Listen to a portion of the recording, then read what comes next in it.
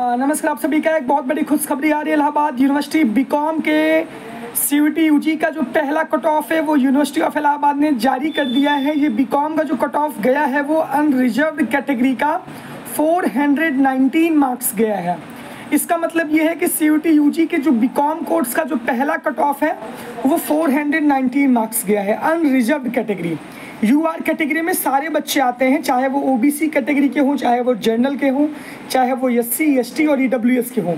अब जिन बच्चों का बी कॉम में 419 नंबर के ऊपर है 650 मार्क्स में, वो सभी बच्चे 30 तारीख, यानी कि कल, आज नहीं, कल शाम को 6 बजे से लेकर के एक तारीख तक, यानी कि आपके पास 48 घंटे का समय रहेगा। एक तारीख की शाम को 6 बजे तक अपना फ़ीस डिपॉजिट करेंगे। अपने प्रोफ़ाइल पे क्लिक करके।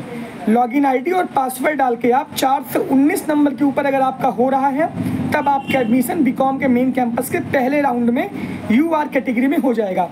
ये अभी कट ऑफ़ जारी हुई है, अभी और भी कोर्सेज की हो सकता है कट ऑफ़ जारी हो, लेकिन आज के दिन की ये पहली कट ऑफ़ है। इलाहाबाद यूनिवर्सिटी की ये बहुत बड़ी ब्रेकिंग है। अभी आप लोग परेशान मत हुई लिस्ट हम दिखा देंगे।